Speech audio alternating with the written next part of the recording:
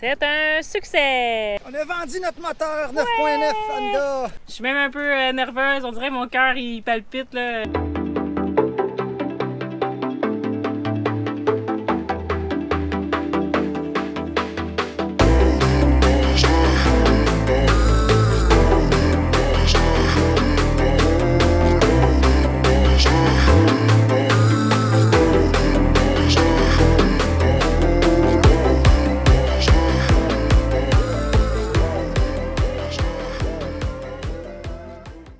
Donc on fait les dernières préparations ce matin, on a l'intention de partir vers 10-11 heures. Il nous reste le check-out à faire. Patrice est parti porter les poubelles euh, sur terre. On doit sécuriser le bateau, le préparer. Euh, on doit se faire euh, de la petite bouffe parce qu'on n'a rien de prêt en ce moment. On veut se faire une salade de pâtes. comme ça, c'est facile en navigation. On a terminé d'attacher le moteur. C'est vraiment solide. On y a mis une comme ça pour l'empêcher d'aller par là. Il y en a une autre de côté ici. Super solide. Ça va pas bouger. Parce qu'on a notre autre moteur ici qui est sur son rack. On lève l'ancre pour Antigua. Donc on part de Saint-Martin, on s'en va à Antigua. Euh, c'est une belle navigation d'environ 24 heures si on fait du 4 nœuds. Euh, on va avoir un beau vent de travers. On est vraiment excités parce qu'on a l'intention de tout la faire à la voile. On a les conditions parfaites pour le faire. Euh, des vagues de 1-2 pieds, c'est rien, c'est des mini-vagues. 15 rafales à 20, c'est parfait pour nous. Euh, on n'ira pas super vite, mais on est conscient que ça va prendre le temps que ça prendra parce qu'on le fait à la voile. On est vraiment content. On serait prêt à partir. On est prêt. Ouais, Comment tu te sens? excité, tout le temps le fun. Je suis même un peu euh, nerveuse. On dirait que mon cœur il palpite là, euh, un peu. Et ça fait toujours ça, puis après ça, ça se calme quand on décolle. On devrait avoir une super belle météo. Ouais. vraiment beau. Qu'est-ce que c'était le plus ça? Moi, ce que j'ai le plus hâte de la nave, de faire de la voile, euh, parce qu'on a des- choisi des beaux vents. Maintenant, on a le vent de travers, parce qu'on descend vers Grenade. Enfin, fini les vents de face. Qu'est-ce que j'aime le plus d'une nave? Voir l'immensité de la mer, euh, le silence, le, le bruit des vagues. Qu'est-ce que j'aime le moins? C'est peut-être l'inconfort euh, quand tu vas à l'intérieur pour euh, te faire à manger ou euh, sûr que le sommeil va peut-être être moins profond, Ouais, non existant. au moins non existant. Il n'y a pas grand-chose que j'aime pas pour vrai, moi j'adore ça.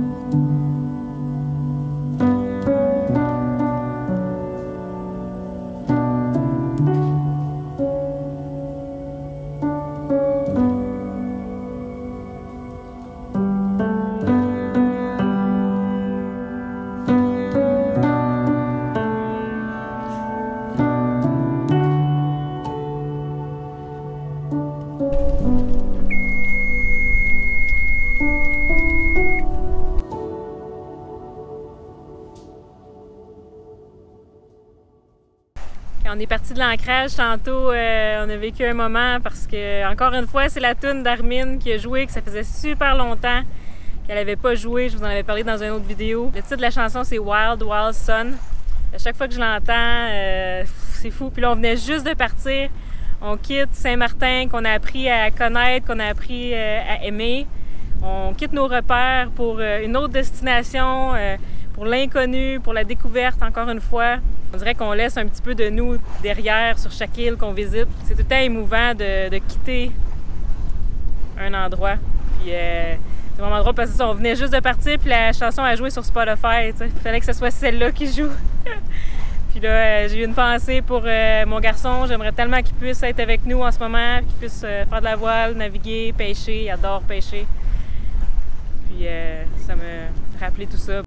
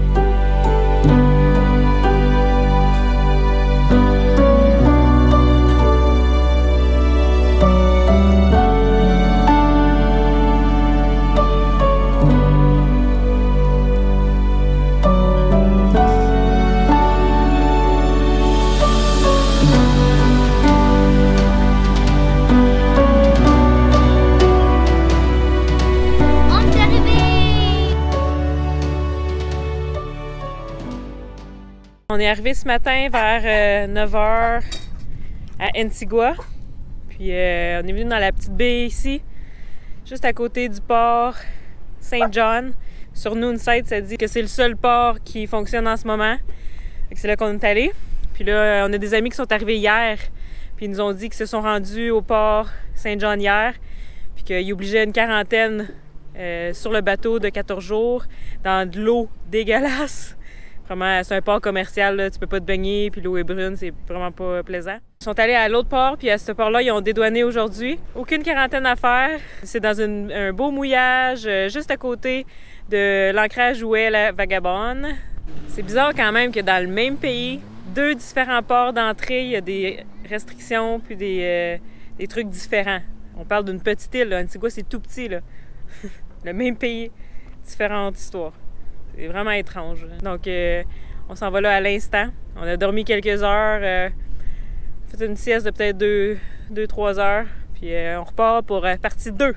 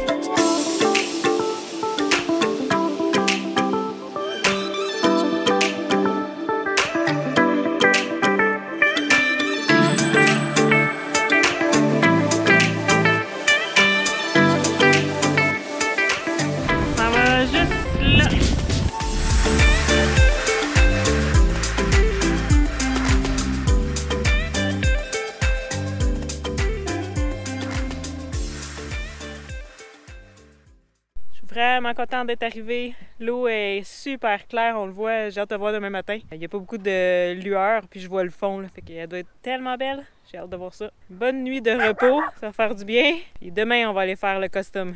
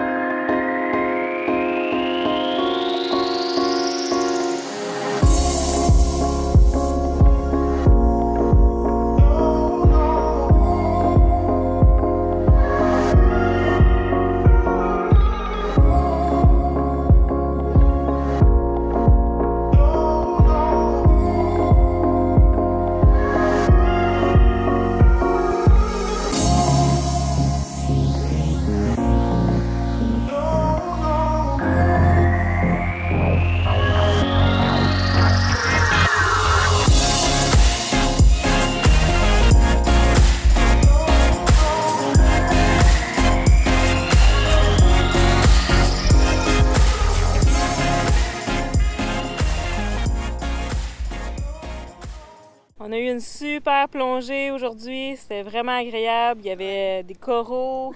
vraiment beau. Est-ce que tu as aimé le plus? Euh, moi, j'ai aimé les trois calmars. Ça ressemble à des pieuvres quand ils bougent. Puis quand tu les vois de proche, ils ont l'air des poissons normaux. Puis il y en avait trois. Puis on les a vus trois fois. Puis on était à différentes places dans le reef. ils, se tenaient, toujours les trois ensemble. Vraiment cute. C'est la première fois que je vois des bancs de poissons aussi nombreux. Tu voyais vraiment le chemin qu'ils faisaient. Puis euh, je nageais avec eux, si je faisais partie du banc. C'était vraiment, euh, vraiment le fun. J'ai vraiment aimé ça. Il y avait beaucoup de triggerfish, des Ah noirs. oui, des noirs. C'est la première fois que je vois des noirs. Mhm. Il était beau. Il était vraiment, vraiment beau. Il y avait un peu de jaune sur la queue. Ouais. Je sais pas si t'as remarqué. C'est super gracieux, là, ça bouge. euh, c'est vraiment beau. C'est vraiment le fun d'avoir commencé à jouer dans l'eau parce que les, les plongées d'avant, euh, on était un peu déçus. Là, il y avait rien, il y avait vraiment rien. Là, on a passé euh, deux heures dans l'eau. euh, Il y avait une méga différence euh, de trois pieds. Ouais. Comme si tu étais sur, sur la surface, il faisait un, quand même assez chaud. Puis là, tu descendais de trois pieds ou juste tes pieds. Il était froid, là. ouais, grosse différence de, ouais, ouais, quand de même. température d'eau. On a juste hâte de retourner jouer dans l'eau. Mhm. Vous voyez, notre écran ne fonctionne plus, elle n'affiche plus rien. Donc, qu'est-ce qu'on a fait? On a pris un fil HDMI puis on a plugué l'ordi sur l'écran de télé. fait qu'on va se faire un meilleur setup que ça si jamais euh, l'autre ordinateur est pas assez puissant. Mais pour l'instant, Véronique, il faut qu'elle termine l'épisode comme ça. On a réussi à sauver l'épisode au moins parce qu'il fallait la publier demain. Puis tout le travail qu'on avait fait cette semaine, euh, je suis contente qu'on a pensé à ça parce que tout à refaire. Là. Il restait juste le moment où Windy a fini. On a réussi, guys. Euh, Ça a fonctionné en mettant l'écran sur la télé. On était capable de transférer les fichiers. L'épisode est en train de se downloader sur YouTube. Puis là, qu'est-ce qu'on est en train de faire? C'est tout mettre le backup sur l'autre ordi. Mais le problème, c'est que l'autre ordi aussi, euh, il va mal, il commence à mal aller. La souris, elle se met qu'à bug. Là, on se retrouve à avoir deux laptops fonctionnels, mais avec des, euh, des bugs. Donc, c'est vraiment pas pratique. Ce qu'on va essayer de faire, c'est. Puisque le laptop, il est garanti. C'est le deuxième qu'on a, by the way, parce que l'autre, il fonctionnait pas. Vous vous en souvenez d'une vidéo, on l'avait renvoyé aux États-Unis. Là, ce qu'on va essayer de faire, c'est de trouver un réparateur ici parce que c'est seulement l'écran. Ça reviendra au même prix de payer du shipment pour l'envoyer à la compagnie, avoir un ordi neuf, que de faire changer l'écran ici. Donc, on va évaluer euh, nos options.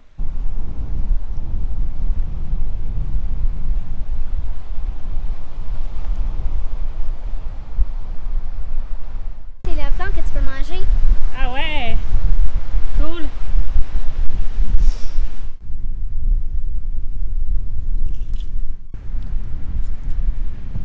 C'est vraiment bon. C'est très très salé par exemple. Mais ça a un bon goût. C'est plein de vitamine C. Il y a plein de propriétés euh, super intéressantes à propos de cette plante-là. Il y en a beaucoup euh, un peu partout. Ici à Antigua, on a commencé à voir euh, beaucoup de sargasses. Le sargasse, c'est la plante qu'il y a par terre. En fait, c'est des plantes de, de l'océan. Les plantes, ils s'échouent sur les plages comme ça. C'est la première fois qu'on en voit autant à un endroit. Selon les scientifiques, l'invasion soudaine des sargasses s'explique par la consommation d'engrais au Brésil, par le déboisement en Amazonie pour faire place au développement de l'agriculture intensive et par la composition de l'eau rejetée par le fleuve Amazon. Ce n'est donc pas de bonnes nouvelles pour les Caraïbes. On retourne à Typique. On est venu en paddleboard, donc euh, on retourne euh, en pagayant. Puis euh, demain, on change d'ancrage. Ça a l'air qu'il y a une super belle ancrage de l'autre côté de cette île-ci, vraiment proche, 9000 nautiques. On a hâte d'aller découvrir là-bas aussi. Ça a l'air que la plongée est vraiment euh, folle. Que nos amis euh, nous ont conseillé d'aller là, euh, Total Freedom. On va aller voir ça.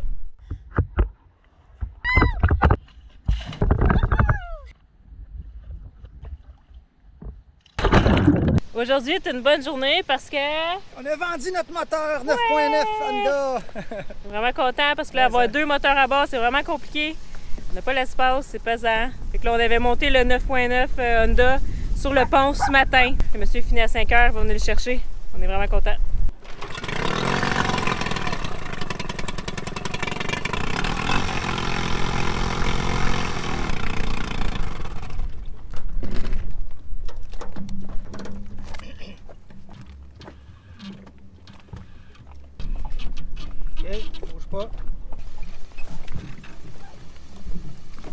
C'est un succès! Grosse Bertha. Tu es content? Ouais. Bonne affaire de fait, ça.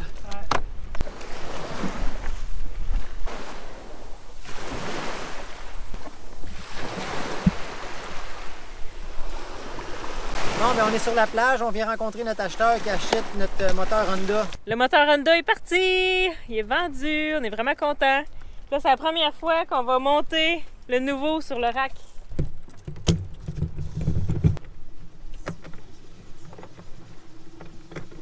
Ça a l'air que ce moteur-là, c'est le, moteur qui est le plus volé. On avait vraiment hâte de le monter. On va même le barrer en haut. Alors, on devrait pas se faire voler. Ça, c'est un cadenas qui fait que s'il casse ça, les poignées pour visser le moteur euh, sont brisées, donc on pourrait pas le, le revisser sur un autre bateau. Et en plus, on a mis un, un comme ça, qui est aussi attaché avec le dinghy. On devrait pas se faire voler. c'est quoi son nom? Honda? C'est. Fait que. euh,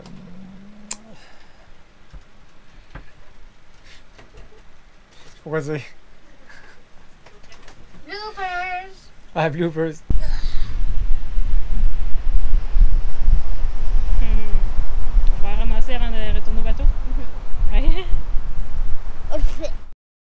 Merci à vous tous d'être là et de participer de près ou de loin au projet Sailing Atypique. Un gros merci à nos Patreons qui nous supportent depuis le début et ceux qui se sont rajoutés cette semaine. Françoise Fierin, Mattei, Georges Scou Paquin et Michel Perrault. Merci. La semaine prochaine, cette navigation-là aura été euh, stressante parce qu'on peut pas tourner comme on veut. Euh, on a hâte d'arriver, on compte les minutes.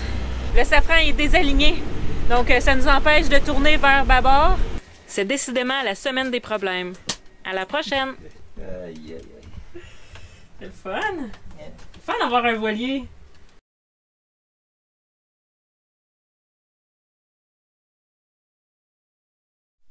Ah, merci maman, tu m'as fait une piscine. Ouh, ouh, ouh, ouh, ouh, c'est froid, c'est froid.